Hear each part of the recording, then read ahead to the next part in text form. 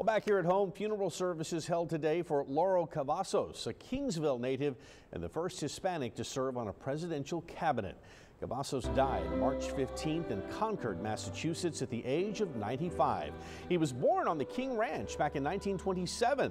Cavazos went on to become president of Texas Tech University, and then in 1988, President Ronald Reagan announced that he would nominate Cavazos to be Secretary of Education. That's a position Cavazos would hold until his resignation in 1990.